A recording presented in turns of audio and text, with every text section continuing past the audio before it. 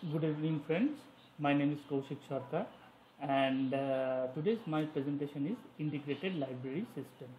Now, what is integrated library system? An integrated library system is nothing but the culmination of all manual works of a library through a software representation. Now, when we talk about manual works of a library, so many modules have come. These are acquisition, cataloging, circulation, serial control, open access public catalog. So what are these? These different manual activities has been transformed to a interface or software interface where a system runs these modules. So on the basis of ILS, all um, should I say all the ILAs have uh, developed in 1970s and um, on the basis of uh, uh, if we want to categorize the ILAs we will find that there are two kind of uh, categorization.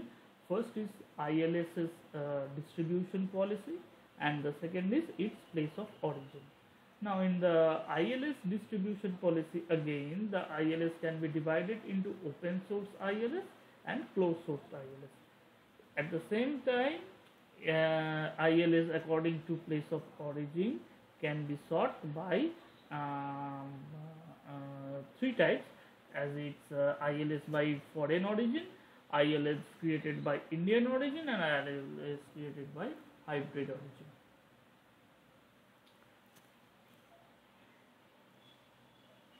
Now, if we look at the next slide, we will see that by distribution policy, ILS can be distributed in three ways.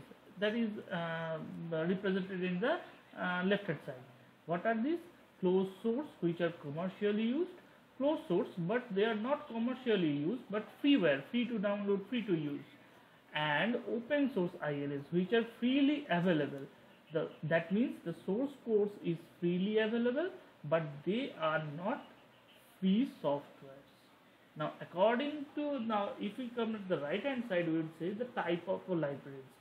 Here we can classify the libraries according to its users.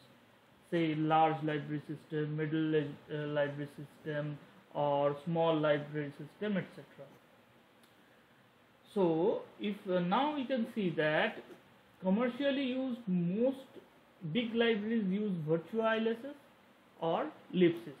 Libsys is a good very software which uh, which is widely acclaimed and widely used and Virtua ILS is used by National Library of India. Same way medium range library like rural library or public library uses Soul and Slim one and small libraries like school library or children library they have small amount of users so on the basis of that we can use autolib and Nebulas.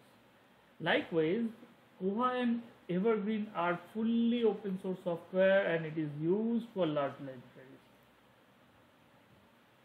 If we distribute the ILS according to its place of origin, we can find that the um, there are three categories foreign origin and developed on foreign origin. Some ILSs developed over an ILSs and ILSs of Indian origin.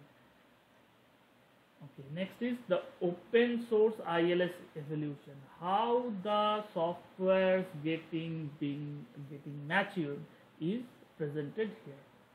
Now see fairly matured uh, are Emilda, Evergreen, Koha version 3 onward, NewGenLib, they are very matured ILS system. Moderately matured but less in use is Minneopolis, uh, Opals, OpenBiblio, PHP My Library, and some uh, open source ILS system is at its infancy level, but they are not widely used, but they have a huge potentiality to use in future, like PMB, Python, eLibrary, Avanti, and one experimental thing is going on right now that is Kuali ILS. Basically, Kuali ILS is the culmination of two different things.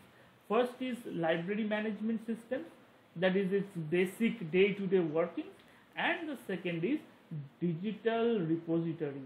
Now these two different features are collapsed and bundled in Kuali ILS.